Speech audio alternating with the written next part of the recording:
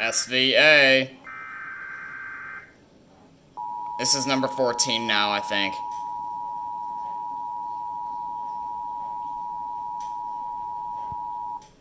Open your mouth whenever you yell.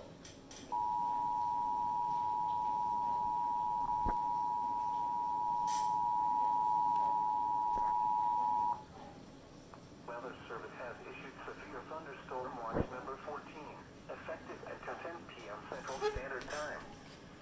This watch includes the following counties in Texas, Cherokee, Gregg, Rusk, Smith, and Upshur.